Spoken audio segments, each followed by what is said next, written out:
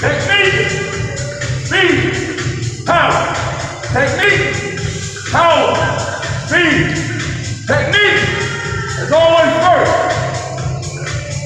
Now, you want your wind capacity to be added on with all three.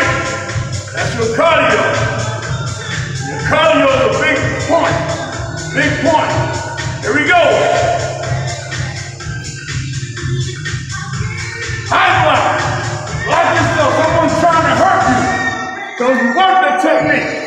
If you work the technique sloppy, just gonna have power. Work the technique.